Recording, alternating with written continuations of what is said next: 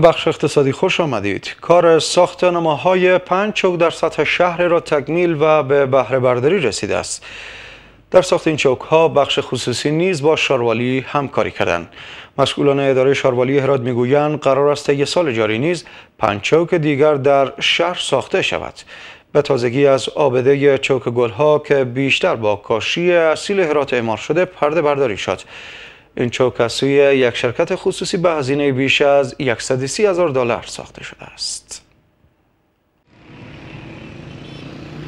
در واسط سال گذشته کار ساخت پنج چوک در شهر هرات شروع شد.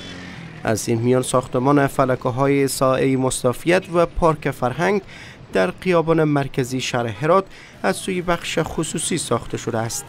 دیگر چوک ها در ساعات درب خوش، درب غندار و منطقه بکرآباد تکمیل و به برداری رسیده است. مسئولان اداره شاربالی هرات می‌گویند قرار است امسال نیز پنج چوک دیگر در داخل شهر ساخته شود.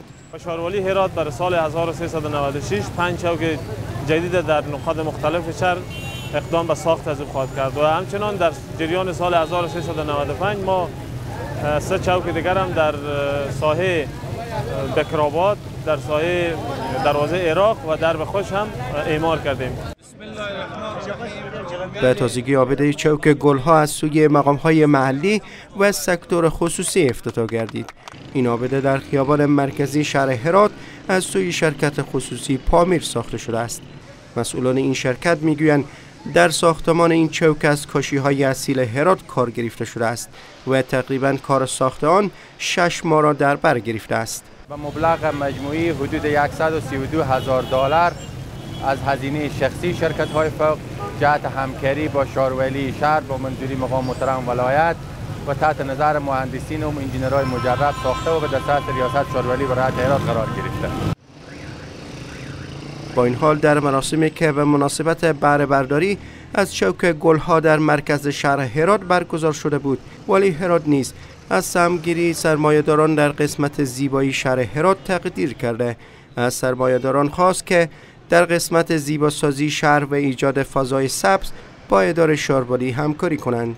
ما تشویق می‌کنم برای سایر تجار ملی را همچنان اتحادیه ها را و عزیزا را که با الگوگیری از سهمگیری تعداد از تجار ملی سرمایه گذاران هرات در زیبایی شهر در زیبایی پارک ها آبده ها چوک ها آثار تاریخی میراث فرهنگی همکاری کنند. طی کمتر از دو سال است که روند زیباسازی شهر هرات در قسمت آسفالت جاده های درون شهری ایجاد پارک ها و ساخت چوک ها در نقاط مختلف شهر هرات شروع شده است.